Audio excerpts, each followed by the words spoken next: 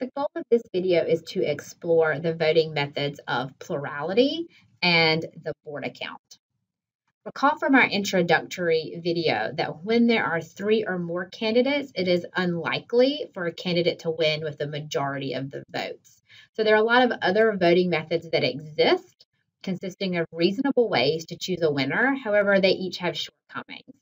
And our ultimate goal is to examine four of these popular voting systems for three or more candidates. In this video, we're going to focus on just the top two, plurality voting and the Borda count method.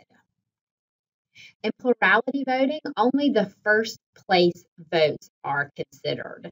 So even if a preference list ballot is submitted, remember that's a list showing a voter's first choice, second choice, third choice on down. Even if an entire preference list is submitted, only the voter's first choice will be counted. So it could have just been a single vote cast. And this plurality idea is familiar to us. That's how we elect our leaders uh, in this country. So the candidate with the most votes wins. Note that the winner does not need a majority of the votes, but simply to have more votes than the other candidates. So, for example, in the 2000 election, Florida voters chose Bush over Gore, Nader, and Buchanan um, because he received more votes. So here's an example of a um, an election with three possible candidates, A, B, and C, and 13 voters. So recall how we read this. We would say that five voters have candidate A as their first choice, candidate B as their second choice, candidate C as their third choice, while four voters have candidate C as their first choice, candidate B as their second choice, candidate A as their third, so on and so forth.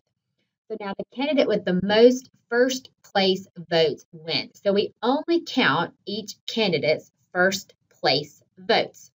And so in this example, we see that A has the most. A receives five first place votes.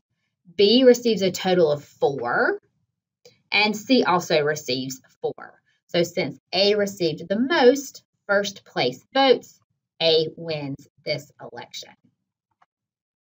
For another example, here we have five candidates, A through E, and eight voters placing their vote.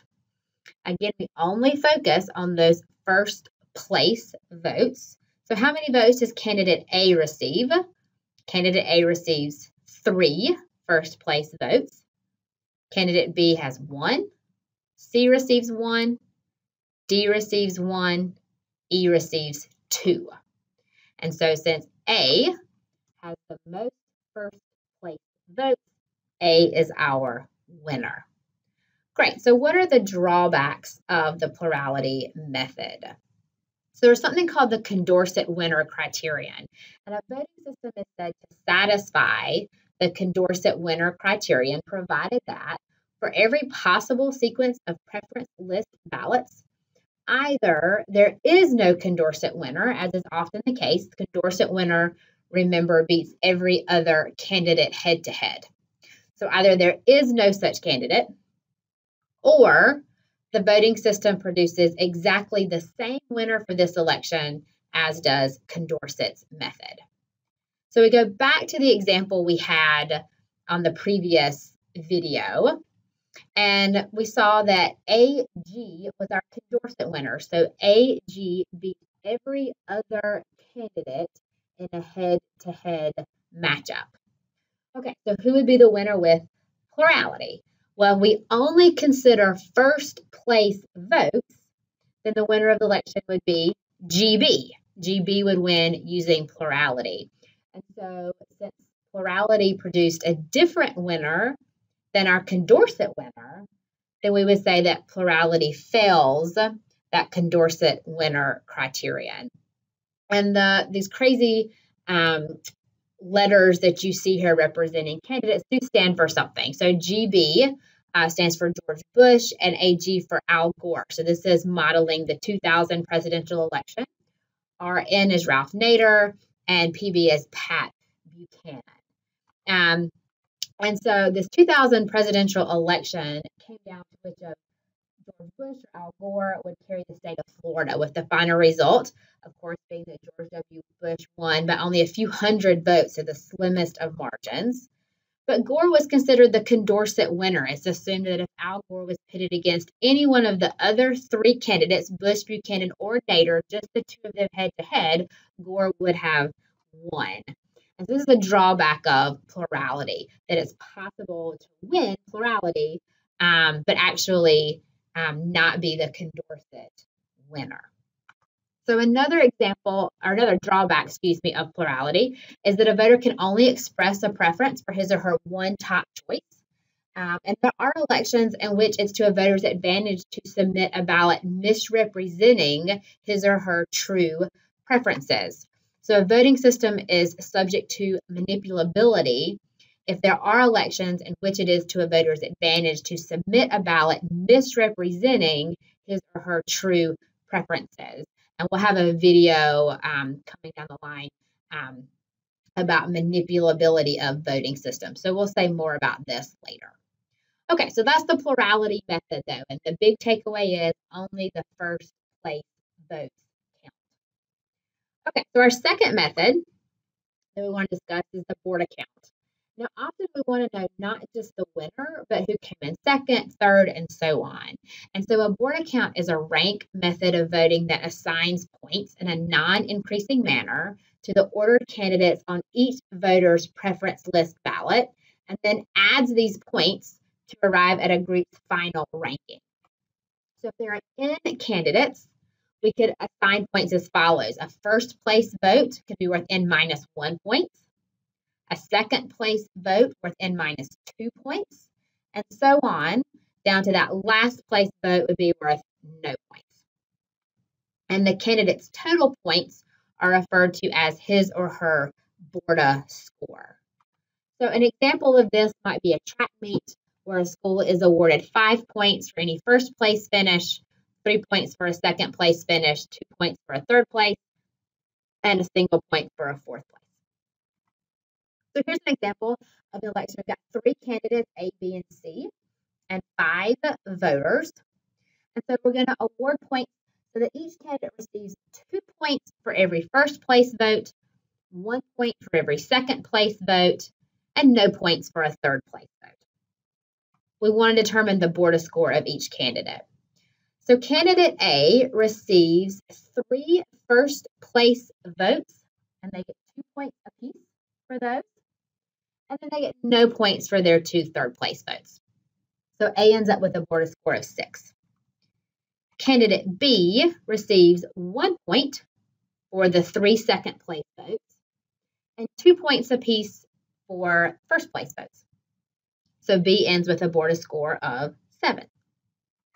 Finally, candidate C receives no points for three third place votes and one point apiece for two second place votes. So candidate C's Borda score would be 2. And now since B has the most points at 7, B wins this election. All right, let's do another example. Here we have eight voters choosing between five candidates, candidate A through E. So we will assign points. Um, each first place vote will be worth four points. A second place vote will be worth three points. A third place vote worth two and a fourth place vote worth one point. So let's see if we can determine the Borda score by candidate. I'm going to do this one a little bit differently, um, so you can use whichever method you like. So candidate A receives three first place votes, and they get four points apiece for each of those. Candidate A receives no second place votes, one third place vote, and you get two points apiece for that one third place vote, one fourth place vote for one point, and then candidate A has three fifth place votes, but no points are awarded for fifth place votes. So in total, candidate A has a Borda score of 15. All right, what about candidate B?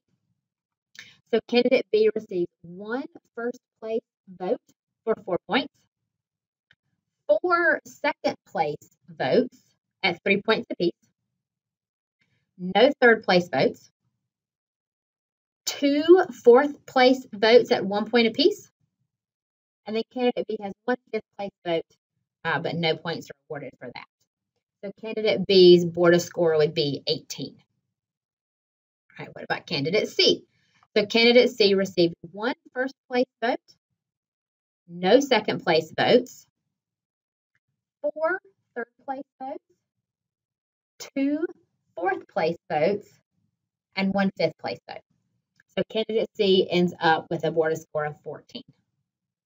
Uh, candidate D, following the same process, has a Borda score of 13, and candidate E, a Borda score of 17. So our winner using the Borda count method would be candidate B with a Borda score of 18. Okay, so what's the drawback of the Borda count method? Um, so Borda count fails something called the independence of irrelevant alternatives.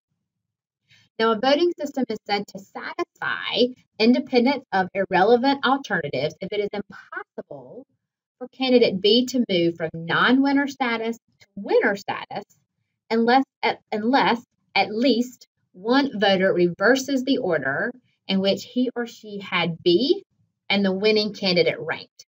In other words, if candidate B was a loser, B should never become a winner unless he moves ahead of the winner and at least a single voter's preference list. So let's look at an example. Here we have five voters voting between three candidates A, B, and C. Points would be awarded as we see here. So what would our Borda scores be? A would end up with a Borda score of 6. B would have a Borda score of 5. And C would have a Borda score of 4. So A would be the winner. Now, suppose that the last two voters change their ballots. what they're going to do is they're going to leave candidate A alone, but they're just going to switch candidates B and C. They're going to reverse the order of the two losers. So this should not change the winner.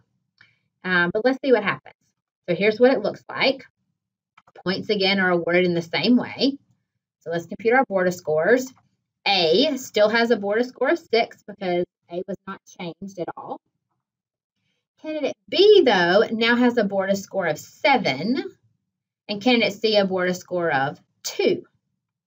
So B went from loser to winner, but was never moved above A, above the original winner on any of the ballots. And so we would say that the Borda count method fails to satisfy the independent of irrelevant alternatives. So that's all for this video. We'll explore um, two other voting systems in our next video. Thanks, guys. Bye.